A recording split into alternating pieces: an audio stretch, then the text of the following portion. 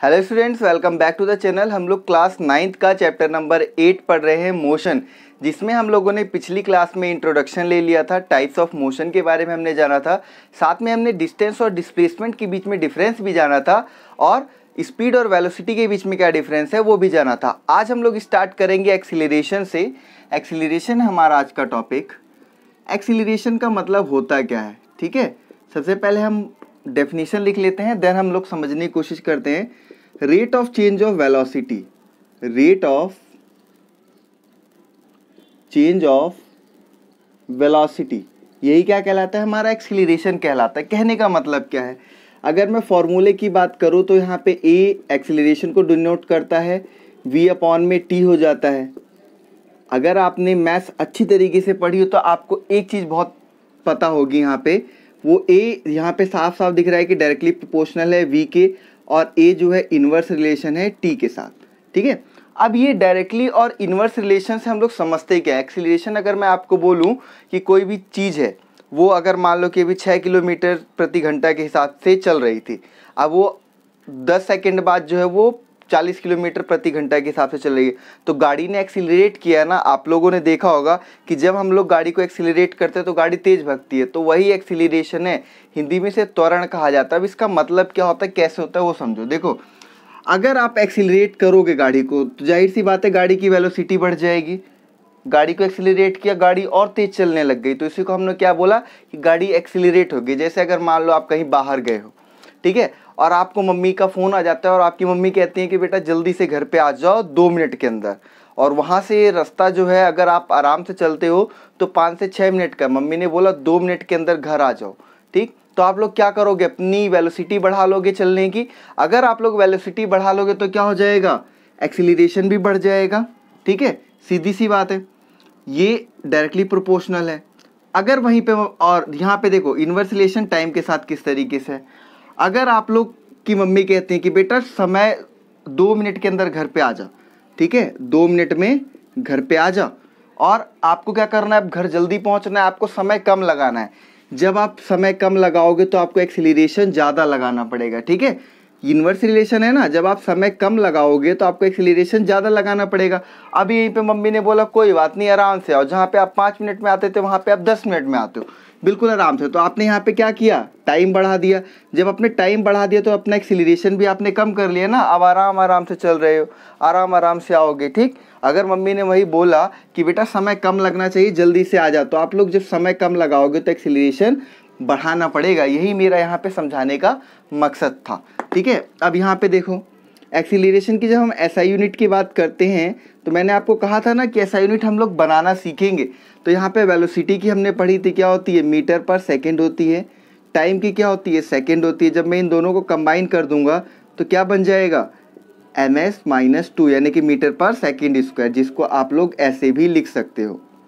ठीक है? आप लोग इसको ऐसे भी लिख सकते हो। ठीक है? ये तरीका हुआ। यानी कि ये एक्सिलेशन हुआ।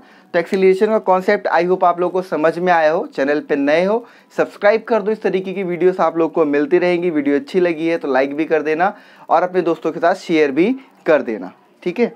चलिए, अब हम लोग देख लेते हैं हमारा ग्राफिकल रिप्रेजेंटेशन ठीक है?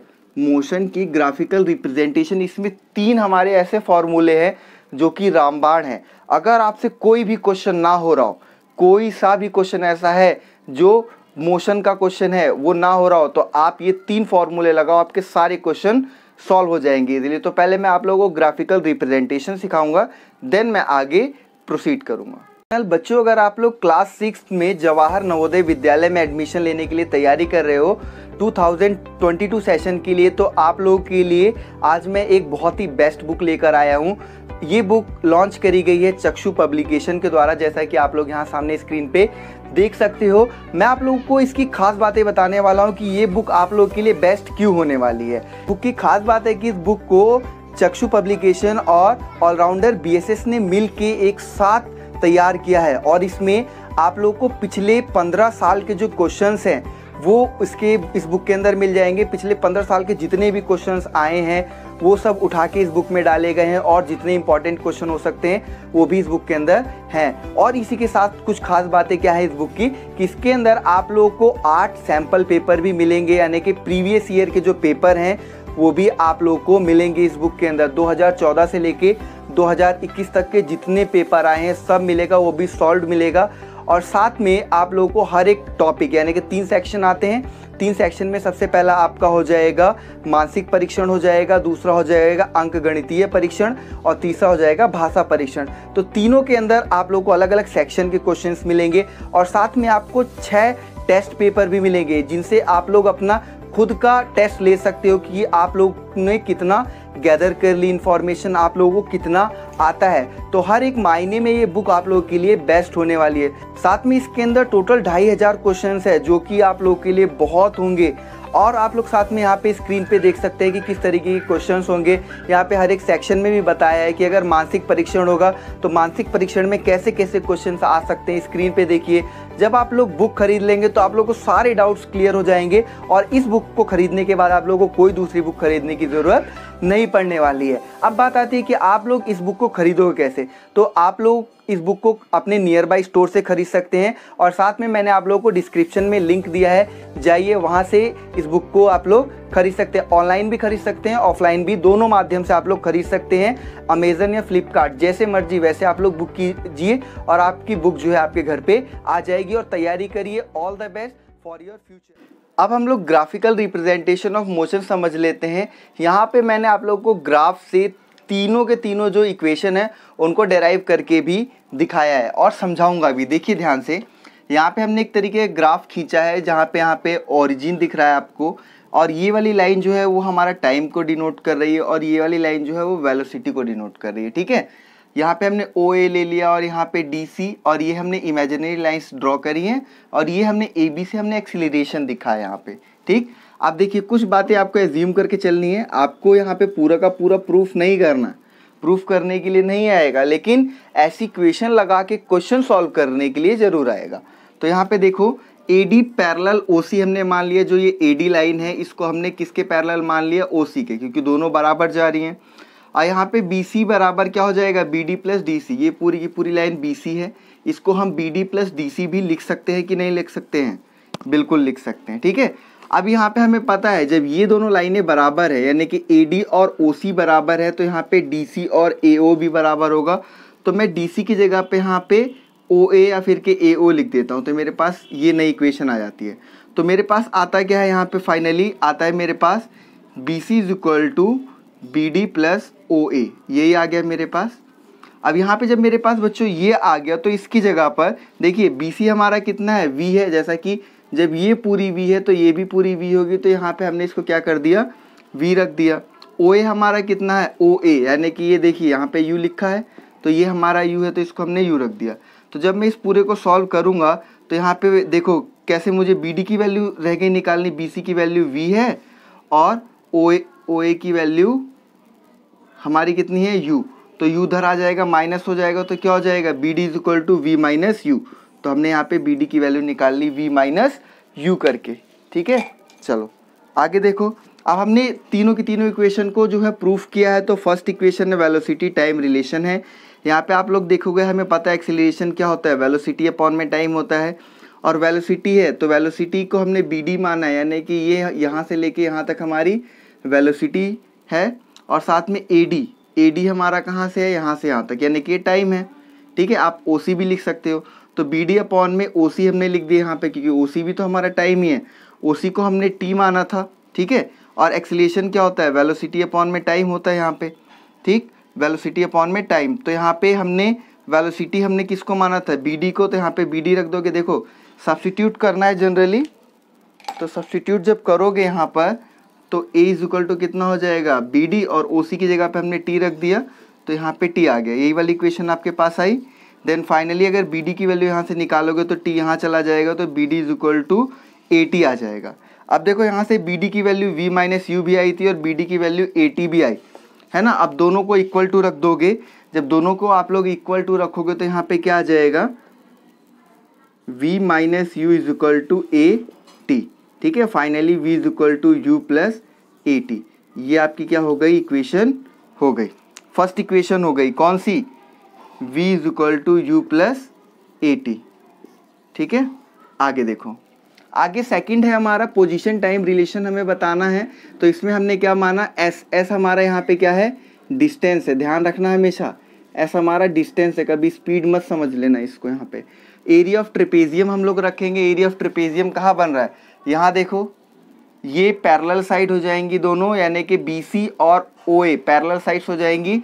और ये ए बी और यहाँ पे ओ सी ये दोनों लाइन्स हो जाएँगी, ठीक है? तो ध्यान रखना पैरेलल साइड्स कौन सी है ओ और ये क्योंकि ये दोनों तो पैरेलल हमेशा रहेंगी, कभी मीट नहीं होंगी, ये पूरा ट्रिपेजियम है, ये वाला, ऐसे करके यहाँ तक, ठीक है? ये ट्रिपेजियम है। अब जब हम ध्यान से देखेंगे तो इस ट्रिपेजियम में हमें एक रेक्टेंगल दिख रहा है और एक ट्राइंगल दिख रहा है यहाँ से यहाँ तक का। तो अभी पहले वाले में हम लोग क्या करेंगे, दोनों को सेपरेट सेपरेट लगाएँगे formula area of rectangle plus area of triangle area of rectangle के लिए हम लोग क्या रखेंगे? लेंथ इंटू ब्रेथ लेंथ कितनी है? ये वाली है, ठीक है?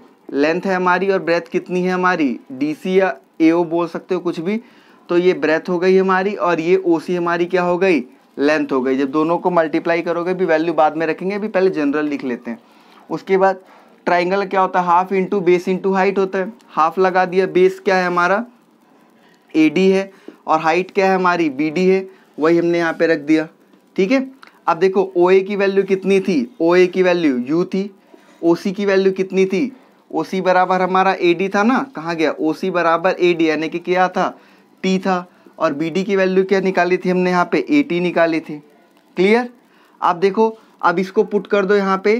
तो एस तो यहाँ पे रहेगा ही रहेगा। ओ ए की जगह पे क्या पुट करोगे? यू ओ सी की जगह पे क्या करोगे? टी पुट करोगे यहाँ पे। और हाफ़ है। हाफ़ का हाफ़ लगा दिए यहाँ पे। ए डी की जगह पे क्या पुट करोगे?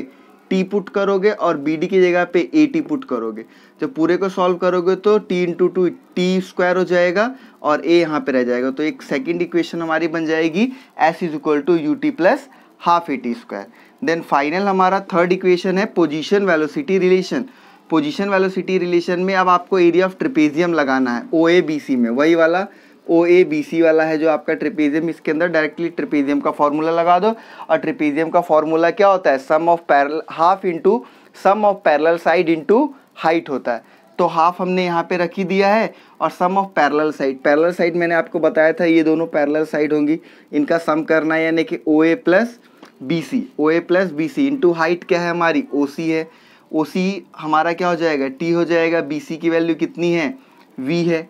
ये पूरे की वैल्यू कितनी है? वी है। और यहाँ पे ओ ए की वैल्यू कितनी है? यू तो क्या हो जाएगा? S is equal to value रखो तो आपको ये ये इक्वेशन मिलेगी। S is equal to U plus V और मल्टीप्लाई हो जाएगा टी से। टू से डिवाइड हो जाएगा। हम जानते हैं यहाँ पे हम टी की वैल्यू निकाल सकते हैं कैसे?